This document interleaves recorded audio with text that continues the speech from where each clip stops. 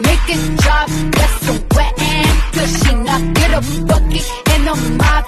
That's so wet and cushy. I'm talking wop, wop, wop. That's so wet and cushy. Macaroni in a pot.